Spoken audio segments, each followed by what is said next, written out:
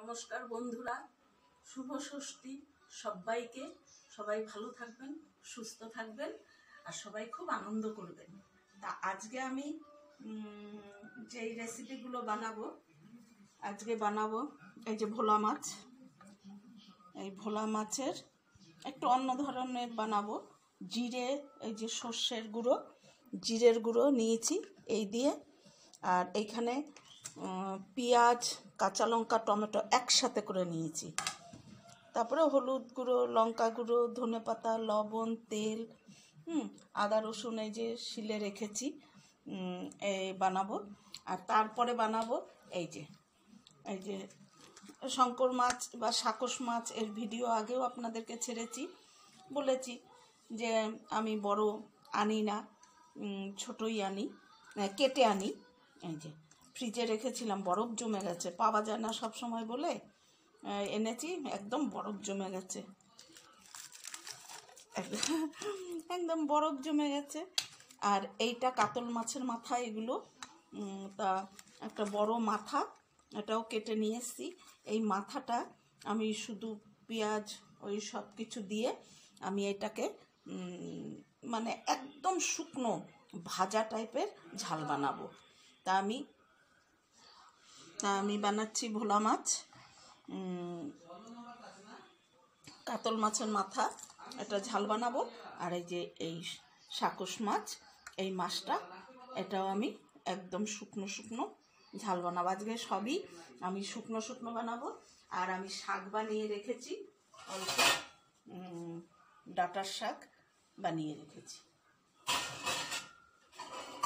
বন্ধুরা আমি এখন রান্না করি এতগুলো রান্না তো আপনাদের সঙ্গে শেয়ার করা সম্ভব না।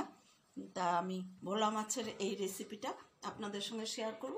তারপরে খাবার সময় দেখা হবে। আমি কড়াই বসিয়ে দিয়েছি। এবার হুম? যে গতবার আনছিলাম খাসি মনে আছে? হুম। তেইশ কেজি বিয়াল্লিশ কেজির খাসি? হ্যাঁ হ্যাঁ। ওটাও এবারে পাবে বুঝছ? হুম। সেই সেই অবস্থা। কতটা বললি হ্যাঁ। যথেষ্ট হয় না রে ভাগে লাস্টে পাই না খেতেই পাই। তেল গরম হয়ে গেছে। আমি মাছে লবণ হলুদ মাখিয়ে নিয়েছি। এবার আমি মাছগুলো ভেজে নেব। মাছ ভেজে তুলে নিয়েছি। এইগুলো এই কটা ভাজা হলেই মাছ ভাজাটা হয়ে যাবে। এগুলোও হয়ে গেছে, এখন আমি তুলে নেব। এই মাছগুলো আমি এখন তুলে নেব, ভাজা হয়ে গেছে।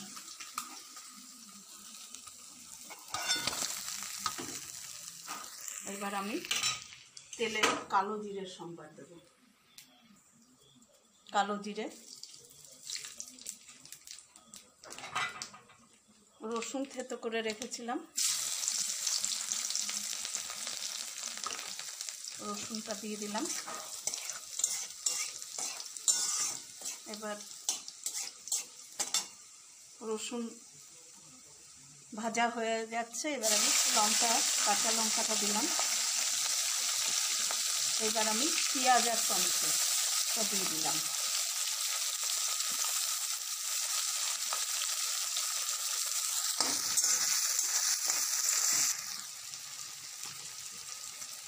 লবণ, পেঁয়াজ, লঙ্কা, টমেটো সব ভাজা ভাজা হয়ে গেছে। এই যে, এখন আমি এর মধ্যে সর্ষের গুঁড়ো, আপনার জিরের গুঁড়ো, লঙ্কার গুঁড়ো, হলুদ গুঁড়ো সব মিশিয়ে নিয়েছি, এটা দিয়ে দেব।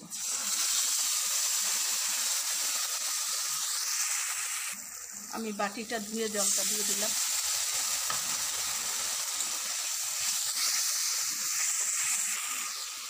মশলাটা ভাজা ভাজা হয়ে গেছে।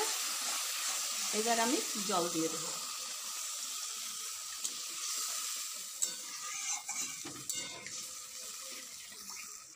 এবার আমি ধনে পাতাগুলো দিয়ে দেবো।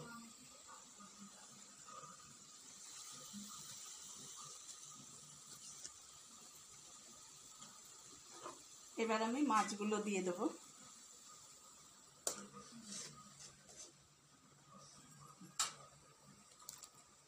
এবার মাছগুলো দিয়ে দেব। আমি মাছগুলো সব দিয়ে দিয়েছি। হ্যাঁ মাছগুলো সব এতে দিয়ে দিয়েছি। এবার ঝোলটা একটু শুকোবে।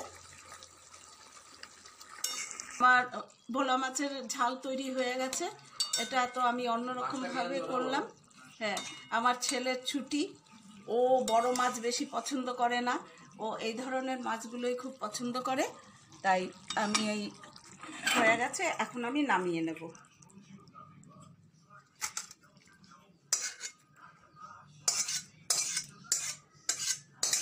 হয়ে গেল ভোলা মাছের। ঝাল, সর্ষে বাটা, জিরা, সব রকম দিয়ে আমি এটা তৈরি করলাম। আমি কালো জিরে দিয়ে দিলাম তেলে।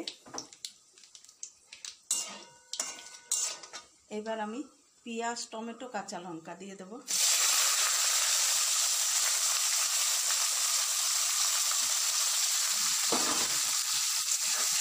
ভাজবো না কাঁচা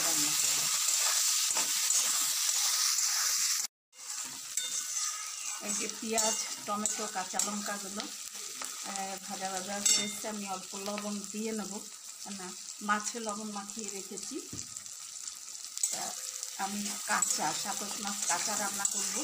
আপনারা এই মাছ এইভাবেও রান্না করে খেয়ে দেবেন খুব ভালো লাগে, ভীষণ ভালো লাগে। লোকে বলে যে একটা গন্ধ থাকে, কিন্তু ভেজে রান্না করলে তো খুবই টেস্ট কিন্তু এইভাবে রান্নাটাও খুব টেস্ট একদম খুব কম সময়ের মধ্যে ভাজা হয়ে গেছে। এবার আমি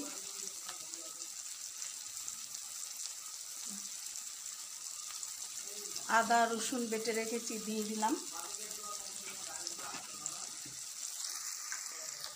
এবার হলুদ গুঁড়ো, লঙ্কা গুঁড়ো, জিরে গুঁড়ো। ভিজিয়ে রেখে দিলে মশলা, পেঁয়াজের সঙ্গে প্রায় একদম ই হয়ে গেছে। এইবার আমি মাছগুলো দেবো।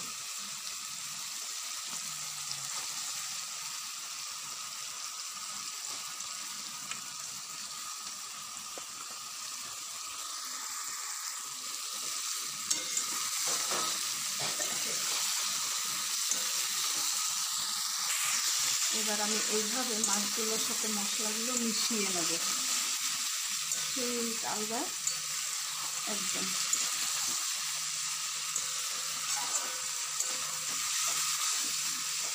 খানিকক্ষণ এইভাবে রেখে দেবো, অল্প আর অল্প আগে খানিকক্ষণ এইভাবে রেখে দেবো। এক পাশ হয়ে গেলে আরেক পাশটা নিচে নিয়ে সামান্য জল দেবো। পাঁচ মিনিট এইভাবে একদম গোটা গোটা রয়েছে একটু ভাঙবে না বা একটু খেতে মানে যে একটু কোনো খারাপ লাগবে সেটাও লাগবে না। আমি লেবু পাতা দিয়ে নামাবো। এর মধ্যে আমি আলু টালু কিচ্ছু দেবো না। দেখুন, একদম গোটা গোটা মাছগুলো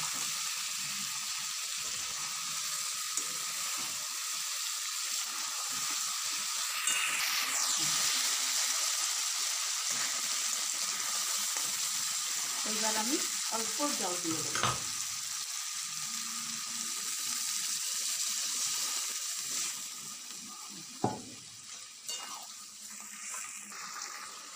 আমি লেবু পাতা দেব। লেবু পাতা দিয়ে দিলাম। এইবার লেবু পাতাগুলো একটু ভিতরে দাবিয়ে দেবো। এই সাকস মাছ। সাকস মাছ গরম মশলা ছাড়া কাঁচা লেবু পাতা দিয়ে বানালাম। এবার আমি নাবিয়ে নেব। এই যে সাকস মাছের কাঁচা, ঝাল করলাম আমি লেবু পাতা দিয়ে। কিছু রান্না করে ফেলেছি অনেকটা সময়। ডাঁটা শাক করেছি সাকস মাছ মানে শঙ্কর মাছ করেছি। মাছের মাথা দিয়ে এই যে আপনাদেরকে বলেছিলাম বানাবো। একদম তেল বেরিয়ে গেছে, বানিয়েছি। ভোলা মাছ বানিয়েছি। এইবার কখন খাওয়া হবে দেখি। বন্ধুরা আমার এই রেসিপিগুলো আজকে মহা ষষ্ঠী। তা আজকের এই রেসিপিগুলো আপনাদের কেমন লাগল বা আপনারা বাড়িতে ট্রাই করবেন। যদি আমার এই রেসিপি আপনাদের ভালো লাগে লাইক করবেন সাবস্ক্রাইব করবেন কমেন্টস করে জানাবেন। ধন্যবাদ।